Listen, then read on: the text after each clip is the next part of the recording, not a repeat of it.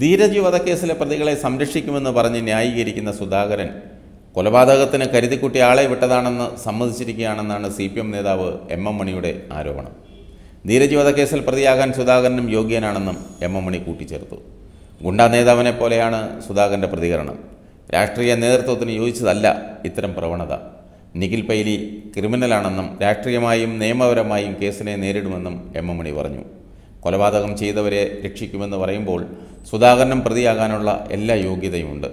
പ്രതികളെ സംരക്ഷിക്കുക എന്നത് രാഷ്ട്രീയ നേതൃത്വത്തിന് ചേർന്ന പരിപാടിയല്ല.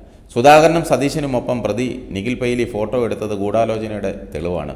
ധീരജിന്റെ കൊലപാതകത്തിന്റെ ഉത്തരവാദിത്തം കെ സുധാകരൻ ഏറ്റെടുത്തു. കെ പി സി സി പ്രസിഡന്റിന്റെ കള്ളക്കളി ജനങ്ങൾക്ക് മുന്നിൽ തുറന്നു കാണിക്കും. അതുകൊണ്ട് സുധാകരനെയും ധീരജ് വധക്കേസിൽ പ്രതി ചേർക്കണം. ഗൂഢാലോചനയിൽ പങ്കാളിയാണെന്ന രീതിയിലാണ് സുധാകരന്റെ പ്രതികരണം. കേസിൽ നിഖിൽ പൈലിയും ഒപ്പം പിടിയിലായവരും കുറ്റക്കാരാണെന്ന് തെളിയുന്നതുവരെ അവരെ പാർട്ടി സംരക്ഷിക്കുമെന്ന് കഴിഞ്ഞ ദിവസം കെ സുധാകരൻ പറഞ്ഞിരുന്നു. കേരളം മുഴുവൻ ഓടി നടന്ന ധീരജിനെയും എസ് എഫ് ഐയെയും ദിവസവും രണ്ടു നേരം വെച്ച് അപമാനിച്ച് സുധാകരൻ ആനന്ദിക്കുമല്ലേ രാഷ്ട്രീയ കേരളം നടത്തുന്ന ഉദാസീനവും മടുപ്പിക്കുന്നതുമായ മൗനം ഞെട്ടലുളവാക്കുന്നു അറസ്റ്റിലായത്. ആകെ പതിനാല് ജില്ലകളിലുള്ള കേരളത്തിലെ ഒരു ജില്ലയിലെ കോൺഗ്രസിന്റെ യുവ നേതൃത്വമാണെന്ന വസ്തുത ഇപ്പോഴും ഒരിടത്തും ആരോപണമായി പോലും ഉയരുന്നില്ല. ആകെ എട്ട് തവണ കൊലയ്ക്ക് ശേഷം സുധാകരൻ മാധ്യമപ്രവർത്തകരെ കണ്ടു.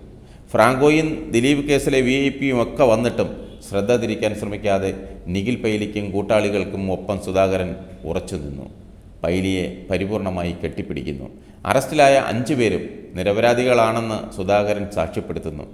ഇത്രയ്ക്ക് തരം താഴുമോ ഒരു K P C C president?